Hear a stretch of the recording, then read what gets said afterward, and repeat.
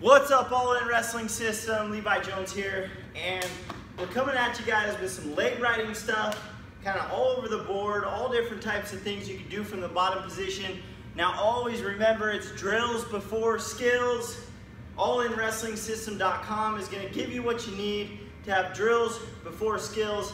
But if we want to have some fun with it, if we want to evolve in the sport, if we want to learn some new stuff, then we got to have the skills side of it as well. Uh, so what we're going to do real quick is kind of some basic stuff right away. Uh, guys are getting caught in this all the time. Uh, really basic position where the guy hits an ankle ride on me, okay, and he hooks my ankle. Okay, so if I scoot back here, you can see Brad's got my ankle. He's got my ankle locked right here, okay? So one of the things we don't want to do, okay, is be trying to come up from this position. Okay, the first thing we want to do is actually we want to start to run into the ankle here. So I can slip that ankle out. Okay, as soon as I slip it out, I'm bringing it back underneath me, get into a coiled position. Here, he has my ankle. All I'm to do, turn ankle down. It's very important.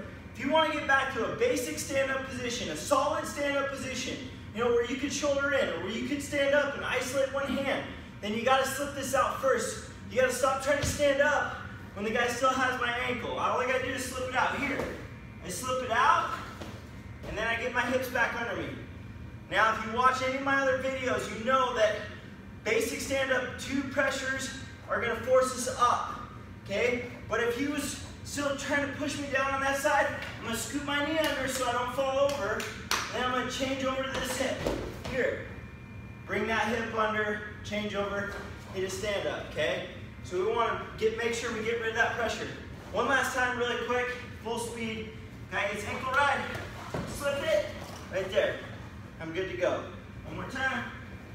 It's ankle ride, right there. You're feeling that pressure, okay? Feeling that pressure? Push into it a little bit. Ankle slide, Then bring your hips back underneath you. Okay? You ready to wrestle from here? All in. It's a lifestyle. It's a choice. It's time